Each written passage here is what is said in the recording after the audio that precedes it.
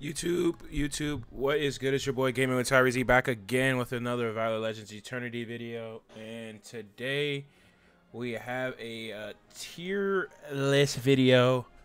Um, an update because I'm tired of seeing comments on who's better than who or um or just asking for an updated tier list. Um Before I get into the video, make sure you like the video, subscribe to the channel, and I want to say first off the jump, hold on. Let me close my door real quick.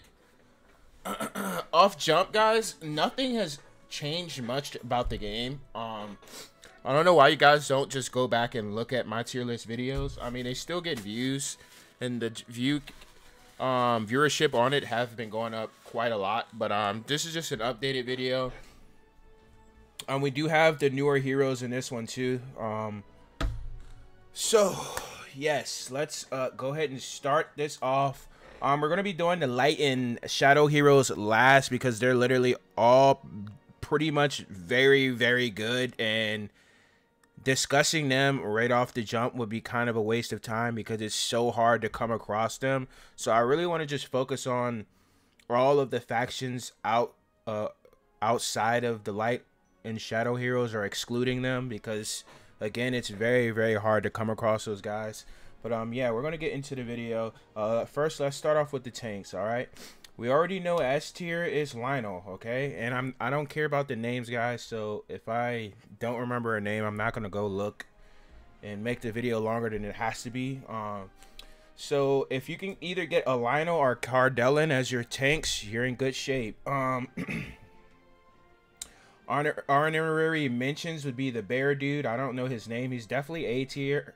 But Lionel and Kardelin are S tier without a doubt. Um, Lionel is going to provide you with, again, um, damage and survivability. Kardelin is more survivability because once you get him high enough, he will apply his shield on himself and another hero with the lowest HP, which is literally God tier, and it's it's really annoying to deal with. Um, and the last tank, uh, this bear guy, I haven't used him much, but he, he's just decent. Uh, I don't really know his skills because I rarely see him on other people's teams. Um, and I've never really used him. I mean, I either use Lionel or Kardelin, but for both of my accounts, I've been using Lionel because I get lucky with him. Um, but honestly, if you if you were to ask me to prioritize, I would either go with Lionel or um Kardelin because they're just ridiculous. Um, another guy that's decent, decently well, I would say he's he's good. Um, Eric, I don't know. I wish I could put him like A plus. I wouldn't really say he's S tier because he doesn't do a lot of damage, but he does shield your entire team. Um, I would put him A tier, but he's ahead of the bear guys. So like if you could get Lionel and Kardelin you're in good shape. If you can't get any of those two, I would go with Eric. And if you can't get Eric, then go with the bear guy. Um, and then this guy, he's like dog shit. Don't even worry about him. Um, any other tanks? This guy, I think, is dog shit. Uh, who else do we have? Let me see. Let me see. Let me see. Let me see. I think this guy is a tank. He's dog shit as well. Don't even waste your time. Just use them as food. Honestly, they're garbage unless you want to like do guild wars and stuff like that but then again i would use these four people up here for guild wars arena magic expedition all of that i would just focus on them four. Um these three down here just use them as food. Um i think that's all for the tanks. Like i said we're gonna not do the light and shadow heroes till the very end because they're the most broken and they're all relatively really good. Uh there's really no downfall to using any of them. It's just all composition based. Uh, I guess we can go to assassins right off the back. I would say uh, people have a lot of confusion or uh, give me a lot of backlash when it comes to Bali. Uh, I was I was remember I, I remember, remember Jesus Christ, this is to kill kill me by the end of this video. I remember uh, discussing which one was better and um uh which one was the better assassin, either Bali or Sota. Um, and again, I'm sticking to my word. Sota is a hell of a lot better than Bali. Um, the only thing that cripples Bali is because his ultimate does not do its maximum amount of damage unless the target is below 50%. If the target is below 50%, then Bali will 9 times out of 10 one-shot the champion because it's going to do the maximum amount of damage. But if he never gets them below 50%, then his ultimate kind of gets negated damn near because it's not doing the most amount of damage it possibly could. Um, with Sota, he does a massive amount of damage no matter what because he gets more crit and more attack speed every time he crits and he gets more attack damage every time he crits or something like that out of his skills. Again, I'm not going to go over the skills because that would just make this video an hour long and no one wants to watch an hour long video. Just want to do like a speed, really quick video, but uh, yeah. Um, and then you obviously have Terrence, who is God tier, S tier. He's the best because he has a shield. He goes invulnerable. Like he heals himself. He's disgusting. Um, if Bali had a shield, he would literally be up here with Terrence. But the fact that he doesn't have a, shield, he does a lot of healing, but he doesn't have sh a shield. So whenever he heals, he still takes damage, and he's not very tanky. Um, if you could get like a Kardelin Bali on your team, then you're in good shape. But even then, I would have like Kardelin and Terrence. Like, like that's a god tier broken comp. Um, but yeah, you obviously Terrence is goddamn S tier assassin, and then I would go Sota, then Bali. Trust me, I have a, a 14 or 15 star Bali. I still get trashed because he's not very good. Uh, because he can't have, he doesn't have survivability. He's very, very vulnerable to damage, and that's not good for assassins.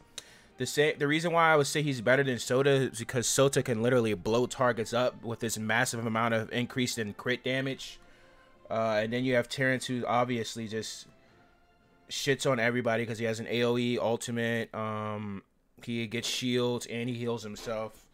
Uh, for assassins, I think that's it, right? And then you have uh, Nar or Ganar or something like that. I think that's his name.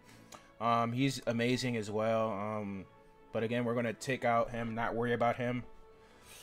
Uh, let's just see if I got every assassin. Ba ba ba ba ba. All right, yeah, I got everyone. Okay, let's go to Rangers. All right, I would definitely say Brook S tier because his ability to silence a target, making them unable to use their uh, ultimate, and then every time he kills a target, he gets his uh, ultimate points towards his ultimate, and then he has an AOE ultimate. Okay.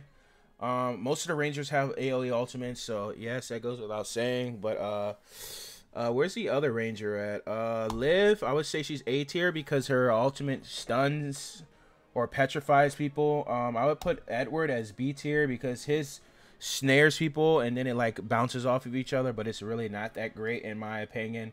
And then um, Darby, I would say she is A tier, right behind Liv. She only because her uh I'm just gonna call it a passive. They don't really distinguish the names for the abilities very well, but her passive every time a um an ally dies, she is able to get more attack damage and she also reduces the attack damage of all the enemies. So that's amazing. Um and the percentage decrease is a, a lot. Like I think at max level it's like 50% or something like that. It might be even crazier. Um Let's just see. Oh yeah, we already you already know Tail is up here with uh Brook, but I would definitely put Tail in front of Brook, and then Diana would be up here as well. So let let's just knock Brook down to A. Um, Tail, Diana, obviously. So first, second, and then third. Um, I would say they're tied for third. Hmm, actually, I would say tell Diana, Liv, and then either of these two, uh, Darby or Brook. I would say Brook is probably better than all of them though because he has a silence. So let's go one, two, three, and then four, and then five. Uh, who else is the other Rangers? She's dog shit. So I would just put her like B or C. Um, Renine, a lot of AoE, a lot of uh, pretty much damage in AoE. So I would put her like behind Darby because Darby's passive is very, very underrated in my opinion. Um, honestly, I want to put her ahead of Liv in my opinion. Uh, yeah, I think that's it for the Rangers. Let me just check really quick. This guy's a mage, right, or a priest or some shit. Let's just do priest really quick. Uh, so Fiora is obviously. Uh, I put her at S tier, and then um, Margaret's obviously S tier. Um, then you have uh, Lucia. I would say she's like A or B. She's not that great, so I would throw her B. This guy's pretty good. Um, this is an assassin, dog shit. This guy's an assassin, he's dog shit. Um, yo, let's move on to mages. We just knocked that out really quick. Priest are quite easy, and then you have, I think her name is Siver or Severe. She's right here. She's god tier, but she again, she's a shadow, so don't cross your fingers on um getting duplicates of her. Uh oh yeah, she's a tank as well, but she's definitely dog shit. They give you her for free, so that's how you know she's dog shit. Um, so mages. So I'm definitely putting this guy in S. I would say she's S because her ultimate is disgustingly overpowered. Um, Froda would be A. Uh, this guy's like C. He's dog shit. I IMO. This guy is B because he has an explosive every time he blows someone up. I would say this guy's a B because he can freeze people. Or we can even throw him in an A party. But these two are god tier. Uh, she's a shitty priest. Um, and this guy is pretty much useless. He just spreads damage. Um, that's pretty much it for the tier list. Sorry if I went really, really fast. But again, I already have videos going super in depth on what hero does what and their ranking and all of that stuff if you just go back to the previous videos but this is just an updated um, video. If you guys care so much about the the, the shadow and light heroes, like bro, honestly, they're all fucking good. Like if you need a mage, go with the mage. I think that's him or him. Um, this guy I think might be the assassin, and this is an assassin she's good. Like I don't want to discuss the light and shadow heroes because they're all very very good. The only bad thing is it's getting duplicates of them is nearly in fucking possible. Unless you want to spend 5k diamonds every time you, to use the uh, portal of prey.